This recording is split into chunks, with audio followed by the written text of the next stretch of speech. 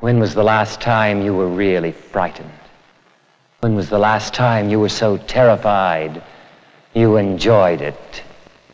Vincent Price, the master of horror, has reserved this seat for you in the theater of blood. If you've got the guts to sit in it, we'll scare the life out of you.